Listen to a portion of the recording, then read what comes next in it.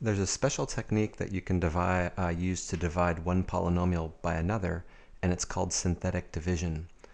But you can only use it when there is uh, a polynomial of the form x minus c in the denominator, okay? So it's really important that it's x to the first power. You can't have x squared or x cubed, and the coefficient here on the x has got to be a 1 as well. So only when you have something of that in that form can you use this process, synthetic division. Okay, so with that in mind, let's go ahead and see how we do it.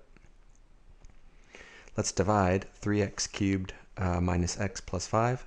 We're dividing that by x plus 2. Now, first of all, can I even use synthetic division? Does the denominator have the right form? And the answer is yes, because I can write that denominator in the following way. Well, the, numer the numerator I'll just leave as 3x cubed minus x plus 5. And the denominator can be written as x minus negative 2. So remember the criteria was that you needed a uh, an x minus c in the denominator, right? So that's why I wrote that x minus negative 2. I wrote that, or I wrote the x plus 2 like this, so that you can see it's in the form x take away c. What would c be here? c would not be positive 2, c would be negative 2. Okay? So in other words, this is a uh, synthetic division candidate. Okay, so once you establish that, here's what you do. You take the c, so in this case you take the negative 2, and you simply write it on the outside. Okay, no x, just the number negative 2, which is always the c. Then what you do is you write this sort of inverted uh, long division symbol. So it's inverted, it's sort of upside down. And uh, sort of uh, next to the negative 2, so there are two rows here, and, and next to the negative 2, you write the coefficients of your um, dividend, which is the numerator. You write the coefficients in descending order. So first of all, see how it's x cubed, and there's you know 0x squared, then x to the positive first. There's a gap here, right? It, it goes 3, 2, but the coefficient x squared, there's nothing there. So I'm really thinking this. I'm really thinking 3x cubed plus 0x squared minus x plus 5. I put in the 0x squared because there was an x squared term that was missing. It's like the coefficient was a 0. So what you do is you take these coefficients, the 3, the 0, the negative 1, and the 5, and you simply write them across in a line. So you write 3, uh, 0, negative 1, and positive 5. This is how it always goes with, with uh, synthetic division.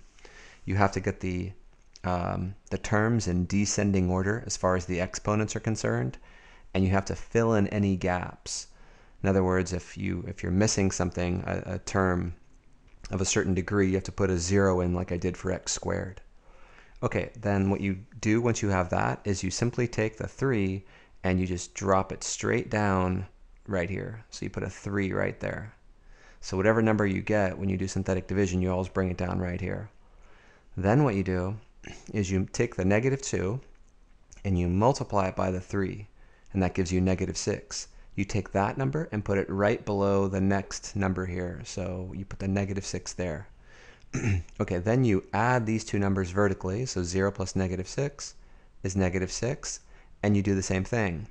Negative 2 times negative 6 is a positive 12, and that positive 12 is going to go right here. Add vertically, so you're going to get 11. And now, same thing. Negative 2 times 11 is negative 22. Put that number right here. And then you add vertically, and you get negative 17. Now, amazingly, all the hard work is done what you do is you take these numbers. These numbers are the first, um, all the numbers but the last one. These first numbers here, they are coefficients for your quotient. So do you see how the uh, numerator here started with x cubed? What you do is you take what you start at one degree less than that. So in this case, x squared. This is the coefficient for x squared.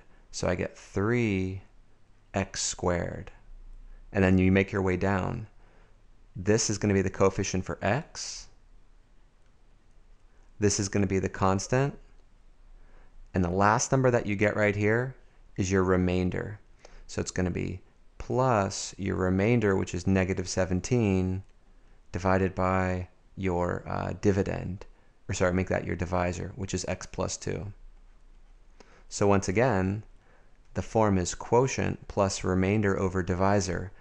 And synthetic division just gave me a fast way of finding all the coefficients and the remainder. Okay. Now, typically, you can take that negative and write it, you know, instead of plus negative, people often just write minus. So let me go ahead and write 3x squared minus 6x plus 11, and then minus 17 over x plus 2. All right, so that would be your answer. Synthetic division helped us uh, perform this division really quickly. Now you might say, well, how do I know that's correct? There are a couple of ways of checking this. And one thing you can do is you can actually perform this division using long division. So you could say, as, as a check on your work, you could say, let me go ahead and take x plus 2 and divide it into the 3x cubed. So 3x cubed plus 0x squared minus x plus 5.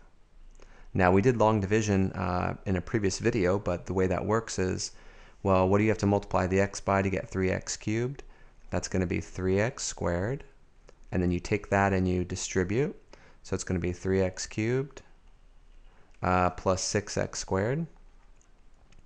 And then you put parentheses around that and subtract the whole thing. And you're left with, well, these cancel, but you get a negative 6x squared minus x plus 5 when I brought down the negative x and the positive 5. And then what times x gives negative 6x squared? That's going to be negative 6x. Take that and distribute it. So it's going to be negative 6x squared minus 12x. Put parentheses on that. Subtract off the whole thing, just like before. So we're going to get, well, these are going to cancel, right? Because it's a positive 6x squared. But this is going to be a positive 12x. Take away x is going to be 11x plus 5. And then I'm going to need a an x times 11, so a positive 11 here.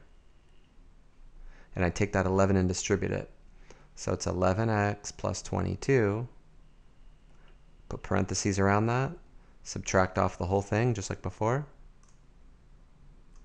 So I get negative 17. And what would my answer be? Well, it would be 3x squared minus 6x plus 11 plus the remainder negative 17 over x plus 2, which is exactly what I got right here. Okay, so in other words, synthetic division, division is just a fast way of performing uh, division. You don't have to use long division, but it only works when you have x minus c in the denominator. Okay? So that's how synthetic division will always go.